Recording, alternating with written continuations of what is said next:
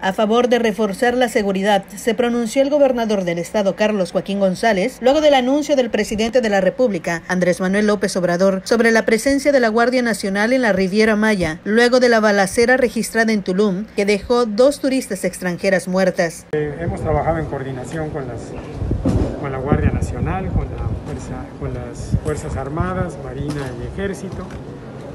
Tenemos todos los días reuniones, todos los días tenemos reuniones donde coordinamos el número de elementos que deben de estar en cada lugar, las actividades que se realizan en cada una de ellas. Eh, en el caso particular de Tulum, habían eh, elementos adicionales de Marina, del Ejército, de la Policía Estatal. Eh, los números de la Guardia Nacional no los tengo, pero ojalá también puedan entrar a reforzarlo. Pero como te decía, en teoría todos estos esquemas se revisan a diario y de forma semanal directamente por mí, precisamente para verificar número de elementos y estrategias. Desgraciadamente ocurrió este, esta situación.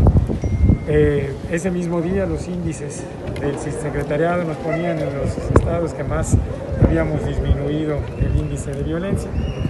Hay que seguir trabajando.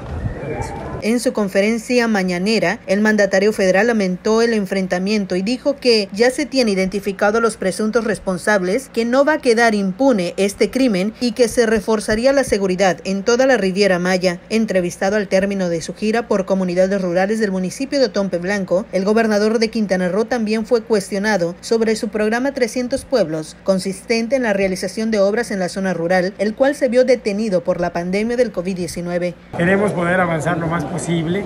Acuérdate que tuvimos que detenernos durante el 2020 por los temas de la pandemia, principalmente porque tuvimos que utilizar los recursos para los temas de tipo de salud y ahora estamos retomándolos, queremos poder alcanzar la meta, vamos a hacer todo lo posible por hacerlo.